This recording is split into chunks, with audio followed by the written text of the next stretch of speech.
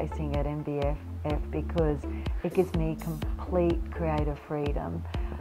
I get a chance to invite, you know, my beautiful clients uh, to, to show my whole creative process and to actually have a chance to, um, you know, tell people my truth and tell people why I design clothes. So it gives me a wonderful forum and, and I, have got to thank MBFF for that.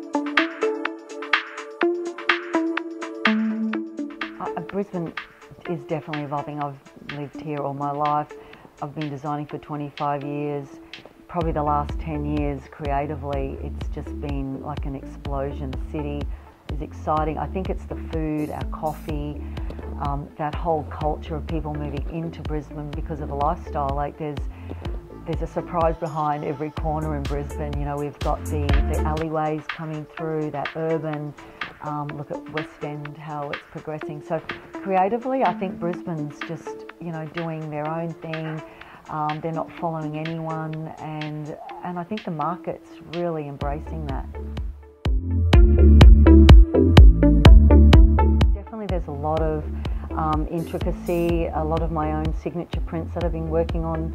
Um, coming back from India, I actually did trek through the desert near the Pakistan border um, which again, you know, talking about going into the unknown, I was actually going into the unknown of myself because um, it was a little bit scary and I had to trust that I was with the right people, I had to trust that I was in the right place at the right time. So those thought processes then creatively come through into my collection.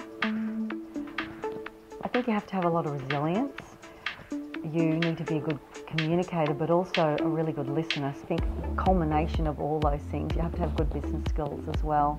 So I think that's why it's very difficult in the industry because there's so many hats that you need to play, and sometimes that can um, suffocate yourself creatively. What advice would I give uh, a young designer? I, I, I think the first thing you have to be is true to yourself and true to your brand. So if you love working with leather or if you love doing edgy products or if you love being conservative in your design, you, really have to stay with your passion, not design for what someone says, oh, this is going to sell or this is. I think you have to, yeah, you have to stay on your own journey.